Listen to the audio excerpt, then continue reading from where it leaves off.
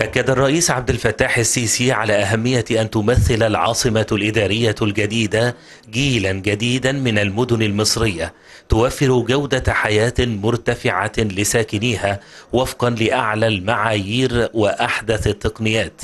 مشيرا إلى أن العاصمة ستحقق استدامة النمو السكاني المخطط بما يحد من النمو العشوائي وما يستتبعه من مشكلات متعددة. جاء ذلك في إطار احتفال الرئيس عبد الفتاح السيسي بتدشين المرحلة الأولى من العاصمة الإدارية الجديدة. وزير الكهرباء محمد شاكر أعلن من جانبه أنه يتم حاليا تطوير الشبكات الكهربائية حيث تم التعاقد على نحو 2000 ميجا وات ستجعل مصر مصدرا لنقل الطاقة الكهربائية أو ربط الطاقة الكهربائية بين قارة إفريقيا وآسيا وأيضا شمال إفريقيا معلنا أنه سيتم الانتهاء من 11 محطة كهرباء جديدة خلال العام القادم. وأضاف شاكر أنه يتم دراسة القدرة على إنشاء خط كهرباء مع قبرص وكريت واليونان يتعامل مع ثلاثة آلاف ميجا مضيفا أنه يتم التعامل مع شركة صينية تعد إحدى كبريات شركات الكهرباء في العالم في عمليات الربط بين القارات. وبشأن إنشاء محطات محولات جهد 500 كيلو فولت قال وزير الكهرباء إنه خلال ثلاث سنوات تقريبا تم مضاعفة المحطات المتواجدة في مصر منذ 60 عاما وهو حجم عمل هائل في وقت محدود جدا. وحول الربط الكهربائي مع دول الجوار أشار شاكر أنه لدينا مع السعودية خط طيار تيار 500 كيلو فولت. يتعامل مع 3000 ميجا وات وسيتم تحليل العروض المقدمة مع الجانب السعودي. ولدينا خط ربط مع ليبيا يتعامل مع 200 ميجا وخط ربط مع الأردن يتعامل مع 450 ميجا. وحول حجم تكاليف مشروعات الكهرباء التي أنشأتها الدولة. كشف شاكر أن إجمالي تكلفة المحطات الثلاث يبلغ 483 مليار جنيه دون المحطة النووية.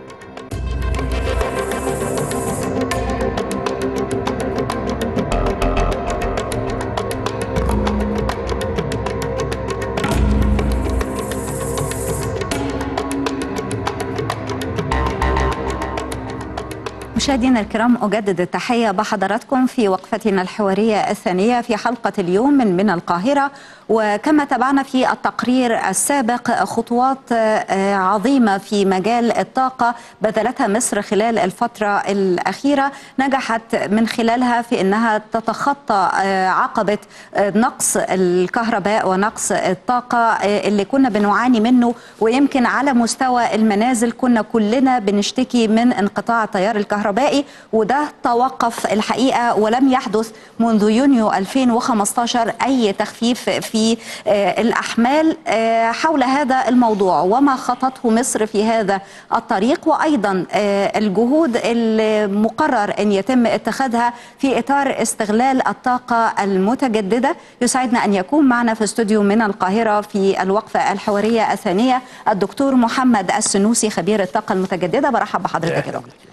بداية الإنجازات اللي تحققت في مجال الطاقة في مصر في الفترة الأخيرة كيف تراها؟ وإلى أي مدى إحنا محتاجين أكتر؟ الطفرة في الحقيقة اللي وصلت بيها مصر في الزمن القياسي البسيط وهو من 2015 ل 2017 لم يسبق لها مثيل في أي دولة من دول المنطقة. إنجاز كبير أربع محطات من سيمنز إجمالي المحطات اللي تم إنشائها في محو في العاصمة الإدارية الجديدة لوحديها عندما تستكمل باقي مراحل المحطة هتديني 14400 جيجا. يعني دي حاجة مش صغيرة. زائد محطة كفر الشيخ زائد محطة بني سويف زائد المحطات الأخرى اللي موجودة في محافظات مصر زائد الطاقة المتجددة الطاقة الشمسية دي في حد ذاتها رفعت الكفاءة زائد مشروع الضبعة فالكهرباء المنتجة إحنا عندنا احتياطي دلوقتي موجود جميل وإن شاء الله مع القيادة السياسية لدراسة تشغيل المصانع المغلقة بسبب عدم وجود الكهرباء الحمد لله أصبحنا في عندنا احتياطي موجود من الكهرباء ولسه في المزيد من الكهرباء ل لعملية التنمية الاقتصادية والتنمية العمرانية اللي شغاله بيها القيادة السياسية وفي نفس الوقت ده إنجاز يحسب للقيادة السياسية. طب دكتور محمد يمكن الحديث عن محطات الكهرباء الخاصة بشركة سيمنز كما ذكرت حضرتك يعني تحدثنا فيه كثيرا ولكن ماذا عن الطاقة المتجددة؟ عمل محطات تعتمد على الطاقة الشمسية أو غيرها من مصادر الطاقة المتجددة؟ إلى أي مدى مصر تسير في هذا الإطار؟ و كان دايما بيتقال إن ده أمر مكلف جدا إن إحنا نتحول من صور الطاقة ومحطات الطاقة التقليدية للطاقة اللي هي النظيفة والطاقة المتجددة. دي أمر مكلف جدا. هي لما أجي أبص لها كتكلفة كوست دفعة واحدة هقول مكلف. م. لما أجي أبص على 10 سنين على 20 سنة بلاقيها مش مكلفة بلاقيها أرخص بكتير من دفع الفواتير الشهرية. الطاقة الشمسية أو الطاقة المتجددة حلولها إيه؟ بتشتغل في إيه؟ يعني هي تشتغل من أول كشك السجاير ده لحد مصنع حديد والصلب لحد مصنع الأسمنت تشتغل بالطاقة المتجددة حسب نوع الطاقة اللي هتشتغل بيه إذا كان ال PV اللي هي الألواح المزارع أو إذا كانت ال CSP اللي هي مستقبل مصر والمنطقة العربية ال CSP اللي هو إيه بقى؟ ال CSP اللي هي إزاي أن أنا آخد مية البحر؟ أطلع منها كهرباء على مدار 24 ساعة غير ال PV اللي هي الألواح. مم. الألواح هتديني وقت سطوع الشمس فقط لا غير. مم. أما ال CSP هتديني الكهرباء على مدار 24 ساعة دون storage دون تخزين. تمام؟ لأن التخزين منه فيه وده know-how موجود. آه زائد المية. لو قلت مثال صغير أنا مصر دخلت في خط الشح المائي. نعم. حتى لو ما فيش حاجة اسمها آه سد النهضة. لا إحنا عددنا كام؟ وحصة الميه كام. فدخلنا تحت الشح المائي. طب أنا عندي مصادر تانية. مصادر التانية بدون تكلفة وبدون استخدام مواد بترولية أو بتروجاز أو بتروكيميكال أو أو أو أو كل أنواع الطاقات الأخرى هي الطاقة الشمسية إن أنا هاخد مية البحر وأطلع منها مية على مدار 24 ساعة وكهرباء على مدار 24 ساعة. لو قلت محطة صغيرة 30 ميجا هتديني 25 ألف متر مكعب مية كل يوم أنقى من إزازة مية الصحة. مم. وبدون معالجات ثنائية ولا معالجات ثلاثية. دي اللي هي يعني أستخدم آه طاقة الإيه اللي بحول الشمس. طاقة الشمس. أنا باخد أشعة الشمس بحولها لحرارة. آه. تحويل أشعة الشمس لحرارة على مصدر المية بتوصل إلى 450 درجة مئوية لما توصل ل 450 درجة مئوية أصبح الماء مش موجود أصبح عندي بخار مية ما يطلق عليه باسم البخار المحمص م. البخار ده بيدور الترباين أو التوربين بتاع الكهرباء بياخد من الناحية المقابلة البخار اللي هو الماء المقطر اللي لا يصلح إلا للاستخدامات الطبية مم. بيخش الماء المقطر على وحدة قياس ومعالجة بيتحط فيه الملح طبقا للكود الدولي مم. فأصبح محطوط فيه الملح طبقا للكود الدولي أنقى من إزازة المية اللي إحنا بنقول عليها مية معدنية مم. أنا لو طب حضرتك بتقول ده ده نشرت المحطات دي على ساحل البحر الأحمر أصبح ما عنديش مشكلة أنا عندي محافظات البحر الأحمر فيها شح مائي. يعني الغردقة نفسها فيها شح مائي مرسى علم فيها شح مائي أنا أنشر المحطات دي ومساحات الأراضي عندي الصحراوية. ما شاء الله تبارك الله. أنشر المحطات دي هتديني كهرباء وتديني مية. خففت خط الضغط الكهرباء وشبكات النقل واديت كهرباء واديت مية. ده غير لو ده اعتمادا على الطاقة الشمسية. فقط لا غير. م. لا يوجد هناك تدخلات أخرى أو مواد أخرى زي في ناس بتقول مثلا هي تحط لي بترول أو سولار أو بنزين علشان لا ما فيش الكلام ده خالص. هي اسمها CSP هي للطاقة الشمسية فقط لا غير. ودي تحويل بتعمل بالنهار فقط بقى كده يا دكتور؟ بيتعمل على مدار وقت على الشمس. مدار 24 ساعة لأن هنا أنا عندي حرارة أشعة الشمس اتحولت لحرارة. آه الحرارة تم تخزينها. جزء منه. طلع المية وجزء منه تم تخزينه في داخل نوع من أنواع الملح بيسمى ملح للتخزين ملح سائل للتخزين. بيتخزن فيه الحرارة. تطلع الحرارة في الوقت اللي ما فيهوش أشعة شمس تشتغل وتكمل الدورة بتاعتها على مدار 24 ساعة فبتديني كهرباء على مدار 24 ساعة. لو قلنا محطة 30 ميجا ساعة كهرباء هتديني آخر اليوم 25 ألف متر مكعب مية. طب آه عمل هذه النوعية من المحطات بيتكلف كتير يا دكتور والتكنولوجيا الخاصة بيه هل هي ألمانيا. متاحة فعلا عندنا؟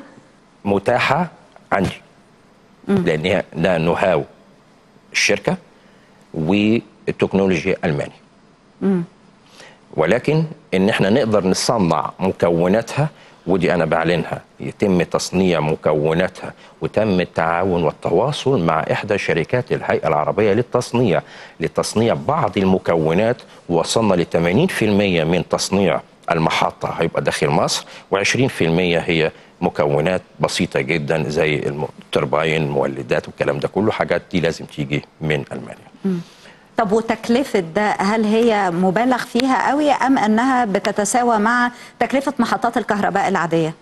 لا حضرتك ما تنسيش هي مش محطة كهرباء عادية ما هي بت... بت... أنا دلوقتي بت... أنا دلوقتي لو أنا. جيت حسبت محطة كهرباء ومحطة معالجة مية هجمع حطيت الاثنين على على بعض هشوف المحطة دي تكلفتها لا أقل أقل طيب آه، فكرة ال- التوسع في هذه المحطات تأثيره على البيئة. يعني إحنا نعرف أن الطاقة الشمسية هي طاقة نظيفة واستخدامها في آه، أغراض آه، زي ما حضرتك ذكرت كمصدر لل- للكهرباء وأيضا تحلية المياه هي مصدر طاقة نظيفة. يعني هي 100% آه، لا تدمر البيئة ولا تؤثر على المنتجعات. يعني حضرتك ذكرت مناطق بعينها الغردقة ومرسى علم فيها فقر مائي ممكن يتعمل فيها المحطات. يتعمل في شرم الشيخ. يتعمل في أي قرية سياحية موجودة على الساحل الشمالي. ولكن تختلف مساحه الساحل الشمالي بتاعنا عن الس- عن البحر الأحمر. لأن نسبة السطوع قد إيه هنا ونسبة السطوع قد إيه هنا. النسبة هنا لو أنا هعمل أخد مثلا for example مليون متر مسطح عشان أعمل عليه محطه يبقى على الساحل الشمالي مليون وربع. ليه؟ عدد الألواح هيزيد. طب آه، فكرة ال- المساحة اللي هتستلزمها هذه المحطات آه، ده هيعتبر آه، بأهدر من مساحة هي بالفعل منطقة بتستخدم لأغراض السياحة أو أي نشاط صناعي آخر. يعني الجدوى الاقتصادية أن أنا أستخدم محطة محتاجة مساحة أرض كبيرة عشان أحط عدد الألواح المطلوب. أبعد عن البحر. 4 كيلو. يبقى استغلال المنطقة السياحية مستغلة. أنا ممكن تحت هذه الألواح يتم زراعات زي ما بيتم في أسبانيا زراعة الورد زراعة ال- ال- الزهور العطرية زراعة بعض المحاصيل الجميلة تحت هذه الألواح لأن الألواح دي بتقتل البكتيريا لأنها بتربي بتعمل مجال كهرومغناطيسي هتقتل البكتيريا يبقى عندي الزهره طالعة ما شاء الله عليها. النباتات اللي يتم زراعتها تحت هذه الألواح هتم زراعتها صالحة.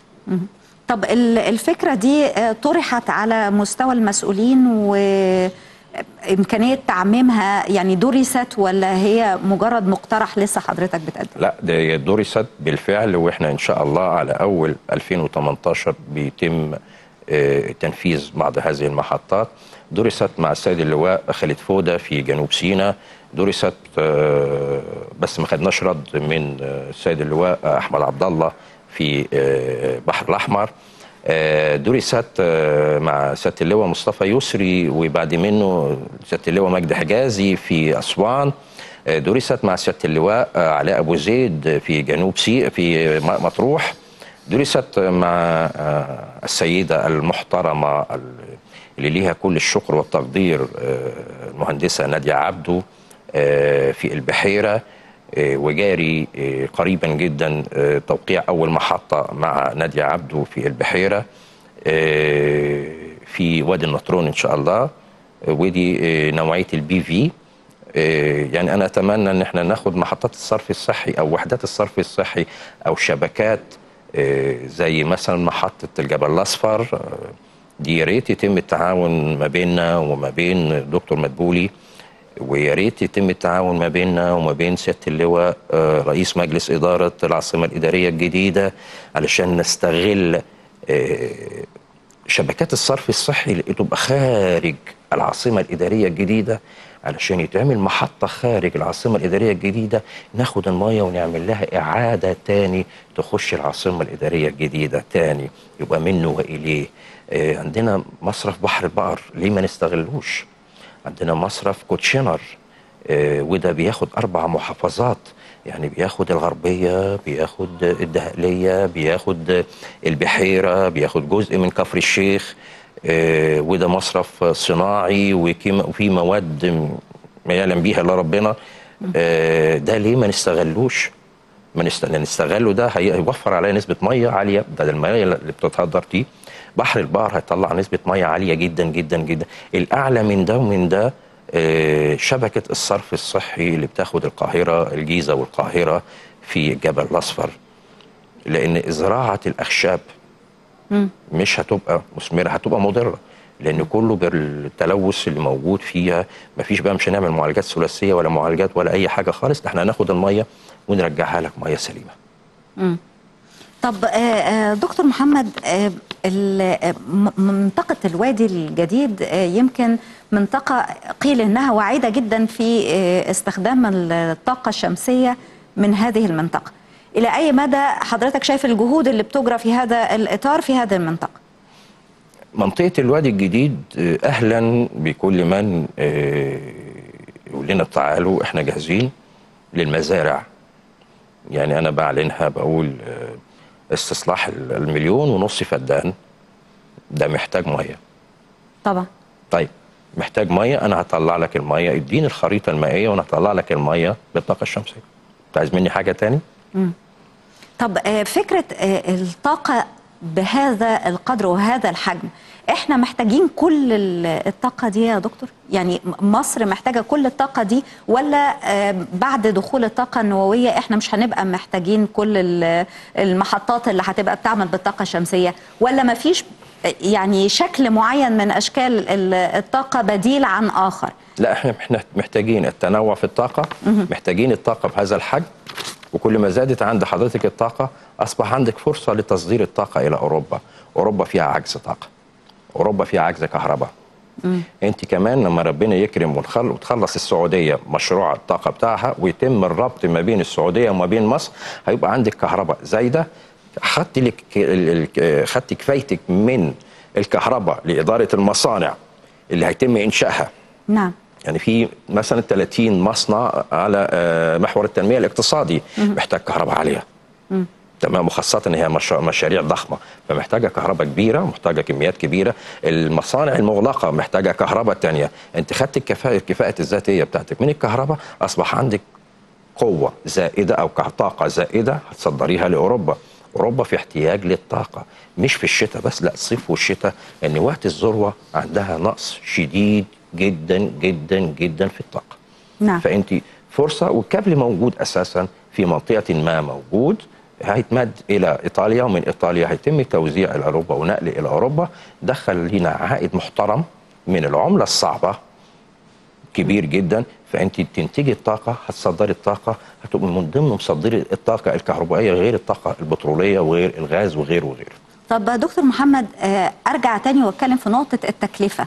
هل مصر مستعدة الآن لعمل هذا العدد من المحطات اللي مصر محتاجاها؟ اعتمادا على الطاقة الشمسية عندها هذه الإمكانيات لضخ استثمارات في هذا المجال؟ وليه وليه الدولة تضخ؟ الشركة اللي عايزة تنفذ تتفضل تنفذ وهي اللي تضخ بس الحكومة تاخد منها. نعم. يعني أنا هكلف مليون جنيه مليون دولار الحكومة هتاخد مني الكيلو الكهرباء بكام؟ هتستلم كيلو الكهرباء؟ ملهاش دعوة بقى أنا اتكلفت إزاي. استلفت جبت من البنوك جبت من هنا جبت من هنا. أنت ليك إنك تاخد كيلو كهرباء وتتحاسب عليه. وخلي السعر مش زي ما حصل في آه، ظهور الاتفاقيات. إن سعر ال- الكيلو وات ب 14 و6 من 10 و15 و6 من 10 دولار السنت والبنك المركزي ما يجيش يدفع. الكلام ده ما ينفعش. الكلام هو ما فيش عملة. أنا بتعامل في مصر. طب أنا هستورد معداتي مفيش مشكلة. هديك 30% عملة صعبة والباقي محلي ده اللي يمشي. إنما أجي أنا أضحك أضحك على الدولة وأقول أنا هاخد بالعملة الصعبة ما ينفعش. طب تكلفة إنتاج الكهرباء من هذه المحطات بتقف أغلى من الكهرباء اللي بتنتج من ال- الطاقة التقليدية؟ محطة 50 ميجا. أنت كده هتخلينا نقول أسعار. محطة 50 ميجا. PV تمام؟ هتكلف 50 مليون دولار. بس ده 50 مليون دولار آسف مش شغل صيني شغل ألماني. ما اجيش أنا أقول لك ده وقال قال إن هي 50 مليون دولار. لا 50 مليون دولار ميد ان جيرماني و50 مليون دولار بقول إن المحطة ضمان بتاعها ببوليس التأمين. تطلع بوليس التأمين ضمان للمحطة 25 سنة حد أدنى. لا أنا بقى بتكلم على قيمة الطاقة المنتجة. هتقف على الدولة لما هتيجي تاخدها. هتاخدها أغلى؟ دي أ- أعلى في التكلفة؟ أرخص. أرخص. آه.